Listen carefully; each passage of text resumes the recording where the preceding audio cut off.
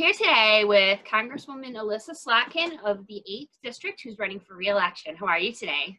I'm good. Thanks for having me. Well, thanks for doing this. Can you tell us um, how long have you been in Congress for?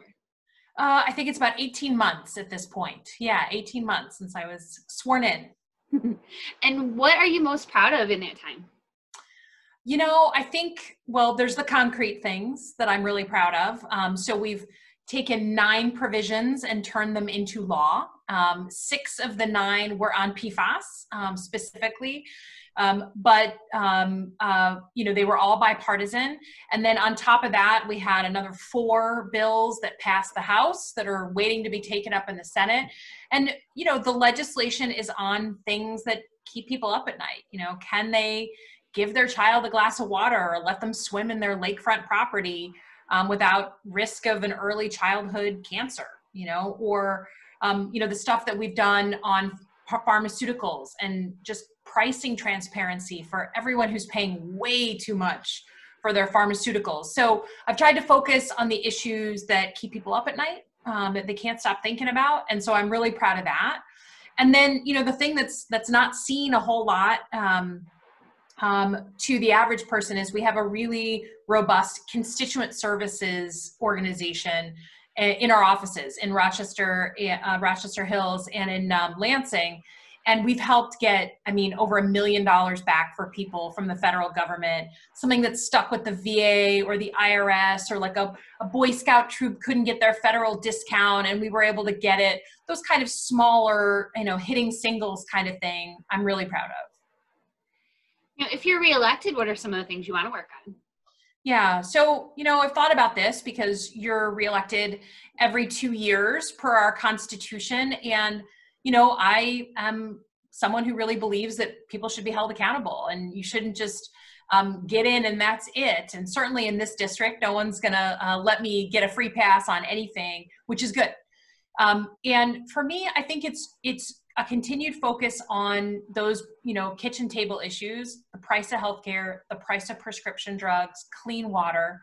Frankly, bringing some civility and decency back to government is something I hear about a lot and it's something I believe in. I'm a very bipartisan person. I worked for Republican president, I worked for a Democratic president, proudly.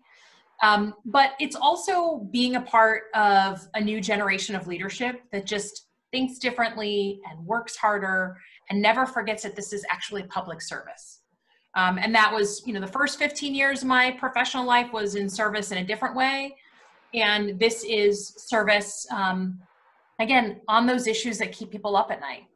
So um, I, I hope that people see me as someone who will fight, who gets invested in the issues that they care about um, by listening to them and then doing something with it. It's one thing to listen, but then you got to turn it into action. So, so many of our bills were ideas from people from our district. Um, and I'm really proud of that. Um, we got a veterans bill signed on apprenticeships um, so that the GI Bill can, can be used on an apprenticeship program. Um, that was an idea from a veteran and in Oakland County. And it was his idea. We signed it into law in May. The president signed it. And so I hope that bringing that fight and that um, commitment and that service for another two years, that, that is what I hope people consider when they go to the voting booth. Now, one of the topics that I know everybody's been working on the past few months has been the COVID 19 crisis. What have you been doing um, in regards to that? Well, it's completely changed all of our lives. Um, we're all totally different. You know, there's sort of before and after COVID. There's, um, and um, the most urgent thing that we started doing on COVID was trying to get personal protective equipment for our hospitals. We have five of them in the eighth, eighth district. And I was getting call after call after call from nurses, doctors, sometimes people sobbing into the phone because their daughter was sharing a mask and they were working with COVID patients and sharing gowns, or their hospital couldn't get swabs to do the testing, and just unbelievable. So, I, the first um, six weeks of the COVID crisis, I really tell people um, I got in the business of trying to identify places that could get us personal protective equipment and trying to get it into our hospitals. And what I learned through that is that most of those medical supplies, frankly, most of our pharmaceuticals are produced in places like China.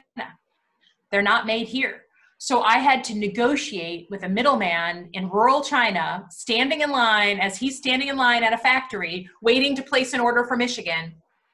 Um, I had to negotiate with him over a 78 cent mask.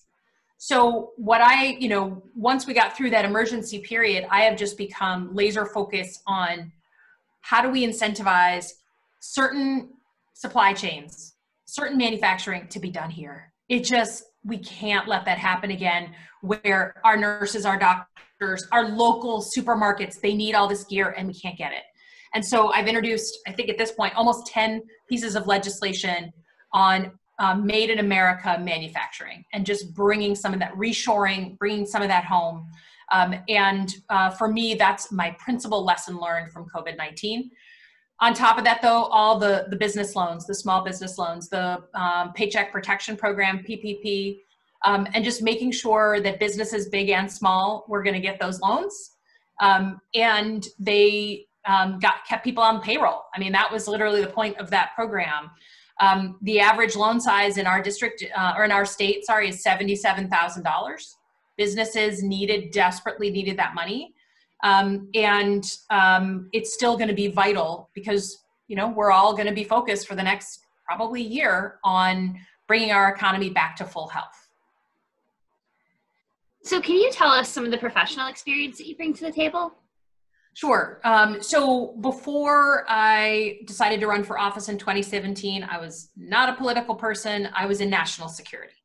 Um, and that was because of 9 11 happened to be in New York City on 9 11 um, when the planes hit the towers. And my whole life changed that day. And I decided to go into national security. Within a year, I was recruited by the CIA. And a year after starting at Langley, I was sent on my first of three tours in Iraq. I'm an Iraq analyst by training.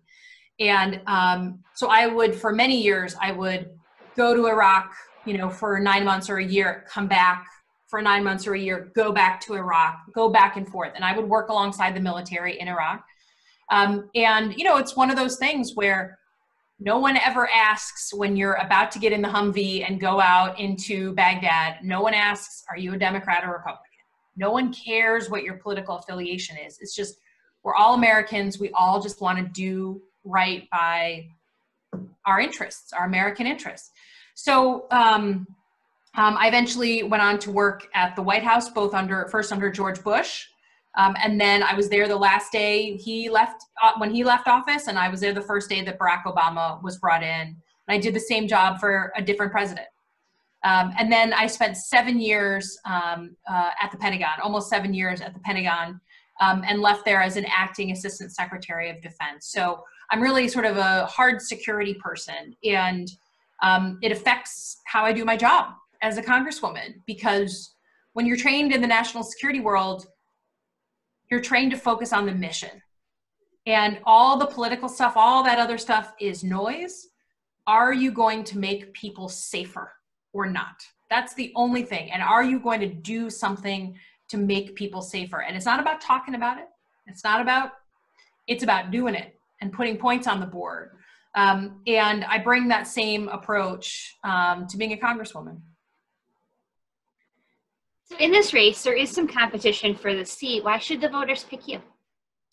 Um, well, certainly the seat is always going to be competitive, and that's good. Um, when I got to Congress, I realized that a lot of people that are there are from either really, really strongly Republican seats or really, really strongly Democratic seats. And those of us in the middle um, a lot of us are in something called the Problem Solvers Caucus, which is a bipartisan, you know, equal numbers of Democrats and Republicans are in this group. We meet every week and work on joint legislation. So it's good that we're in a competitive district. Um, I think for me, um, it is uh, that service orientation. It's that national security background and the training it brings, following through for results um, and then taking um, an independent look at everything. I just, um, we have an independently minded district. I read everything I vote on. I am conscious of um, uh, of how it's going to affect our district. I don't just decide to vote based on what other people in the party are doing, and that's what I think voters expect of me. Um, but I also, um, you know, call them like I see them and maybe that gets me into political trouble sometimes. Um, certainly, it's been a controversial 18 months, um, but I, I have to make my decisions based on integrity and my oath of office, and I hope that the voters see that when they go, you know, and make a decision. So, if the voters want more information about you and your campaign, where can they go? They can go to elissaforcongress.com, and that's E L I S S A. It's a weird spelling, Elissa for Congress. And then on Twitter, it's at Elissa Slotkin. Great. Well, thank you so much for doing the interview today. No problem. Thanks for having me.